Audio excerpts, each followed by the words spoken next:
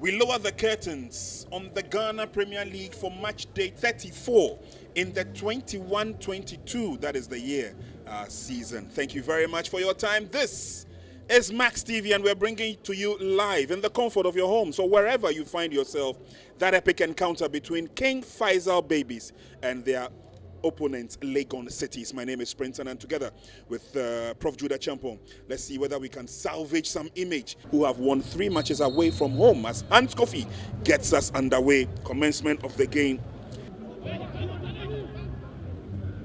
Good recovery there by uh, Nasiru Moro, but King Faisal have an opportunity in the 18 yard box. Ooh, blasted wide, but they still keep it in play.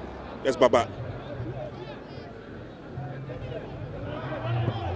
Lines up for a drive and it goes wide. And Legon Cities get the ball out of danger zone, but not quite.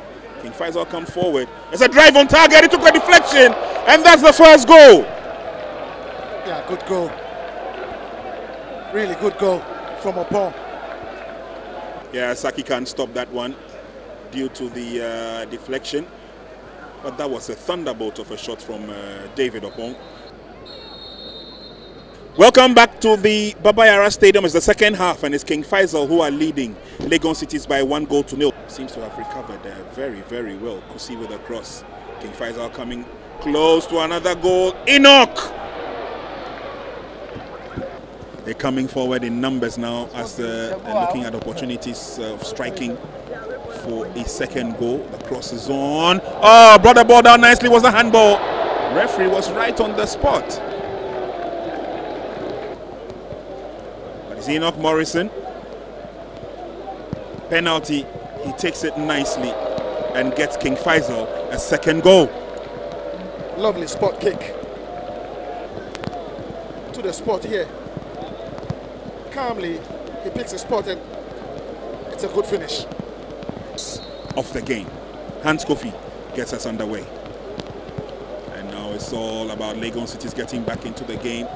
Jonah Attuquaye and Co. Latif heads out, but they went the wrong way. Oh, solid blast by Hans Kwofie. Gets them back into the game. Super goal. That's a response. Attuquaye. Not, not a very good cross, but just look at Latif. Couldn't deal with the ball. It fell for. Rostom Gameli Senogbe, center referee, fought this game between King Faisal and Legon Cities has brought proceedings to an end here. King Faisal have beaten Legon Cities by two goals to one.